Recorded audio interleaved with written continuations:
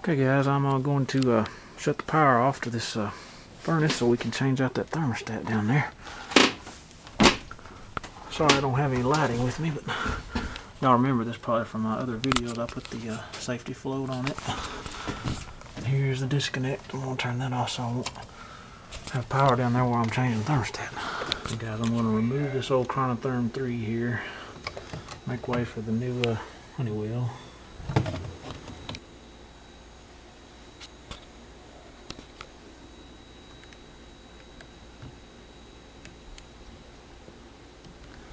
Hey guys, I'm this new Honeywell thermostat's going to need a common wire, or it doesn't have to have it, but I like to use it when I can. And there was an extra wire there. There's the blue one right there.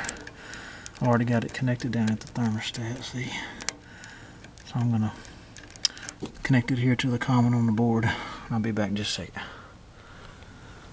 Okay guys, got the common connected, so the thermostat will have power. so It won't be totally relying on those batteries bowl compartment's staying clean on this furnace. It's only been in here about a year or so. Wheels looking still looking pretty clean. Okay guys, I got the new thermostat installed. Got it set for heat down there and I'm gonna turn the disconnect back on up here. We're gonna do startup.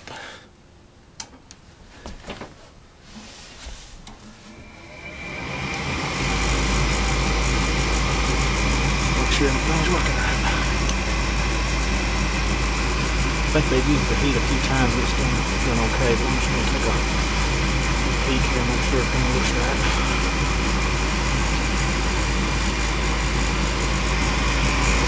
Right, just uh,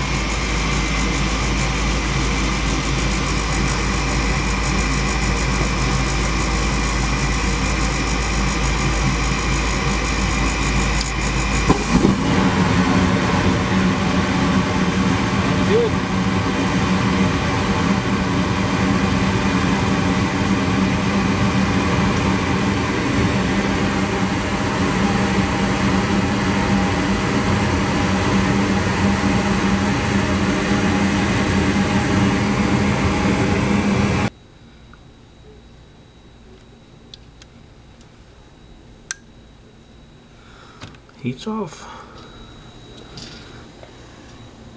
Just changed this filter two days ago. This is the downstairs unit. Hey guys, this Honeywell's got the same uh, problem as the one downstairs. We're going to replace it too. See the display is getting where you can't see it. And it flashes replace batteries even though you've got new batteries in there because the contacts are worn out. But anyway, I don't have another one today, so I'm just going to do it test out of the furnace here and see what happens.